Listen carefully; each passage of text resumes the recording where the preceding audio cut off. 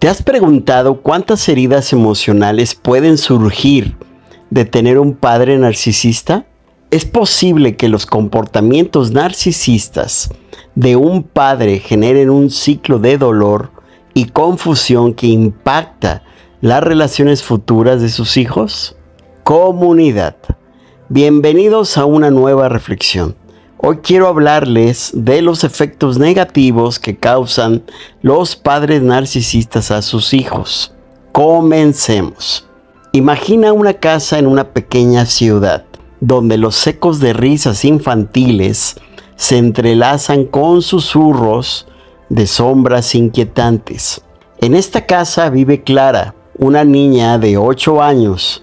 Su mundo gira en torno a su padre, un hombre carismático y encantador, cuyas palabras brillan como oro. Clara lo adora. Él es su héroe, el rey de su pequeño universo. Pero como todo en la vida, las apariencias pueden ser engañosas. A medida que Clara crece, empieza a notar que su padre necesita ser el centro de atención, que su felicidad parece depender de cuántas personas lo veneran. Las noches se llenan de relatos sobre sus logros y hazañas, mientras Clara aprende a reprimir sus propios deseos, a callar sus pequeñas victorias. Su voz se convierte en un susurro y su esencia comienza a desvanecerse por el brillo de la figura paterna. Un día, Clara se atreve a mostrarle su dibujo favorito, un paisaje lleno de colores vibrantes, pero en lugar de la aprobación que anhela, recibe una crítica devastadora. Eso no es arte, debería ser más como yo.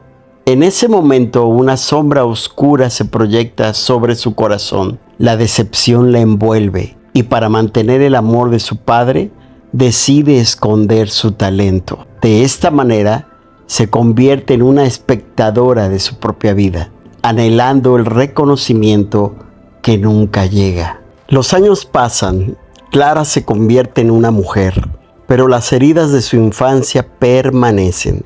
En su búsqueda de aprobación, se involucra en relaciones donde siempre se siente insuficiente. Las palabras de su padre resuenan en su mente, como un eco que nunca se apaga. No eres lo suficientemente buena. Se repite a sí misma mientras observa cómo otros brillan a su alrededor. La lucha interna se intensifica. Siente que está atrapada en un laberinto del que no puede escapar. Un día, en una reunión, escucha a alguien compartir su experiencia. Esta persona habla de una relación tóxica con su padre de cómo las expectativas nunca cumplidas habían moldeado su vida. Clara siente que las palabras sacuden su alma.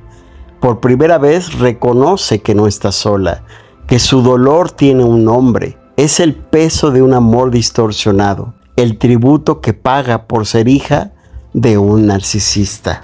Con cada paso en su proceso de sanación, empieza a despojarse de las expectativas ajenas la vida comienza a tomar forma propia.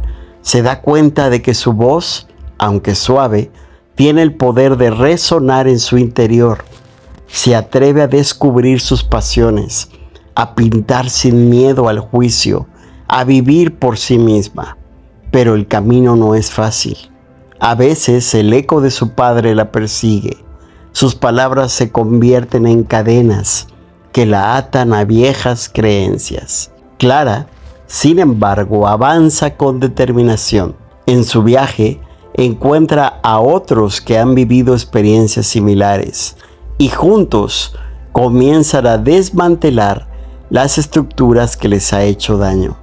Aprenden a abrazar sus vulnerabilidades, a reconocer que sus historias son válidas. Cada paso que dan es un acto de resistencia un grito de libertad que resuena en un mundo que a menudo silencia a los heridos. Comunidad. La historia de Clara es un recordatorio de que el amor puede ser complejo y que a veces Quienes más deberían apoyarnos son quienes más nos dañan.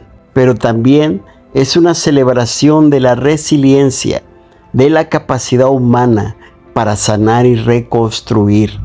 En el fondo, todos llevamos una historia que merece ser escuchada, una voz que anhela expresarse sin ningún temor. Así que, en cada rincón de tu ser, recuerda que aunque las sombras puedan parecer abrumadoras, siempre hay luz al final del túnel. Una oportunidad para reescribir tu narrativa y encontrar el camino hacia la autenticidad. La vida, al final, es un lienzo en blanco y tú tienes el pincel. Comunidad. ¿Te identificaste con esta historia? Debes asimilar que no es tu culpa. Todo lo que ha pasado, todo lo que has tenido que enfrentar, no. No es tu culpa. Debes liberarte del yugo, del control, de la manipulación, del abuso, porque no es tu culpa. No lo es. Para superar el daño causado por un padre narcisista, necesitas acercarte a solicitar ayuda profesional para soltar y dejar ir el pasado y a aprender a vivir tu vida con plenitud. No te resistas y hazlo. La terapia psicológica será una luz en el camino. Hagamos una pausa comunidad para reconocer a todos y a todas quienes apoyan este proyecto Gracias por tu like y también por suscribirte. Esto es por ustedes. Mil gracias. Ahora bien, para quienes se quedaron hasta esta parte del video, si no sabes si tu padre es narcisista, te dejo un link en la descripción o aquí arriba de nuestra serie dedicada al narcisismo. Pero si ya identificaste que tu padre es un narcisista y sigues conviviendo con él o compartiendo espacios juntos, el establecer límites con un padre narcisista puede ser un desafío, pero es esencial para tu bienestar emocional. Aquí te explico las claves fundamentales que debes comenzar a hacer para este proceso. 1. Reflexiona sobre tus necesidades. Antes de comunicar límites, Identifica qué comportamientos específicos te afectan y qué necesitas cambiar. Tómate un tiempo para escribir tus pensamientos y sentimientos en una libreta. Esto te ayudará a tomar conciencia y a evaluar lo que te hace daño. 2. Define límites claros. Establece límites concretos y específicos. Por ejemplo, si sientes que te critica demasiado, un límite podría ser, no estoy dispuesto a discutir mis decisiones personales contigo. 3. Prepárate mentalmente. Comprende que tu padre es narcisista y esta condición no va a cambiar, persistirá en el tiempo. Entiende que tu padre puede reaccionar de manera negativa o despectiva.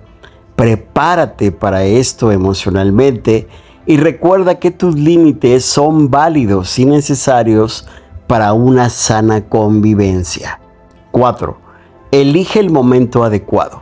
Busca un momento tranquilo para hablar, lejos de situaciones tensas o conflictos. Un ambiente calmado puede facilitar la conversación.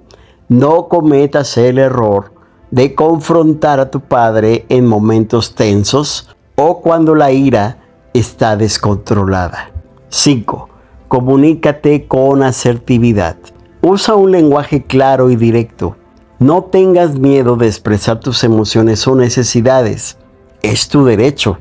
Por ejemplo, he decidido que necesito un tiempo para mí mismo y no voy a responder a tus mensajes durante el fin de semana. En la descripción te dejo un video sobre asertividad que te puede ayudar para este punto. 6. Sé consistente. Mantén tus límites de manera constante. Si retrocedes, puedes enviar un mensaje confuso. La consistencia es clave para que tu padre comprenda la seriedad de tus límites.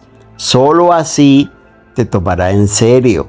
No es fácil, lo sé, pero si insistes y eres congruente, habrá más posibilidades de que te respete y no te haga más daño. 7. Mantén el enfoque en ti. Comunica tus límites desde tu perspectiva personal. Usa frases como yo siento o yo necesito, lo que ayuda a evitar que se sienta atacado y responda negativamente a tu integridad psicológica y a tu dignidad. 8. Establece consecuencias. Si tus límites no son respetados por tu padre narcisista, es importante que definas qué consecuencias seguirán. Por ejemplo, si continúas criticando mis decisiones, tendré que limitar nuestras conversaciones. 9. Practica la autocompasión. Establecer límites con una figura tan significativa como un padre puede generar culpa o ansiedad.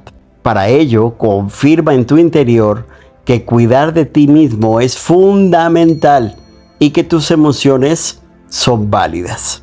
10. Evalúa y ajusta. Después de establecer límites, evalúa cómo te sientes y cómo responde tu padre ante ellos.